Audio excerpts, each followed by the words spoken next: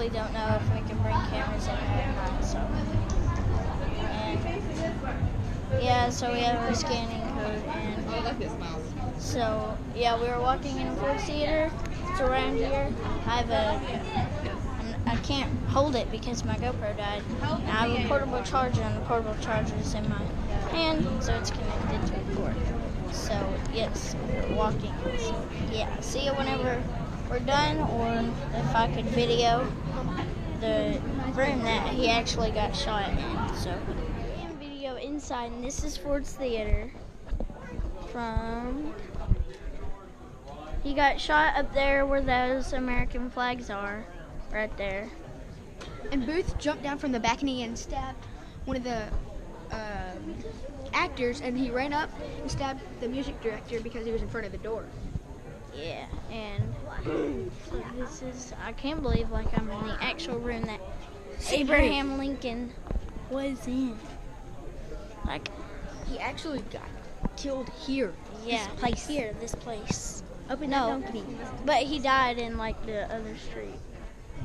Across the street. That's Yeah, across the street. Keep all steps in stage. Miles. All right, hey guys, stand right there and turn around. and Look at me while you're videoing. Get a picture of me videoing. Hello. So this is everything. There's Dad taking video. Pretty cool. Okay, so this is the upstairs of the uh, of Ford Theater. Here's everything.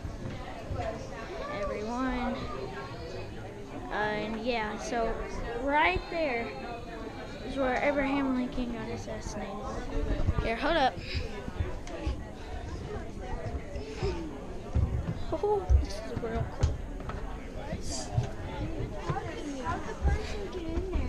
Hold up, ex- excuse me.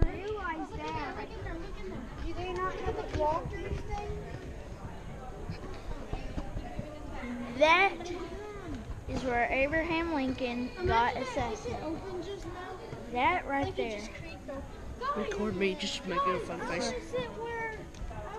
Is that is where he got assassinated. Where did assassinated. Aiden go? That's.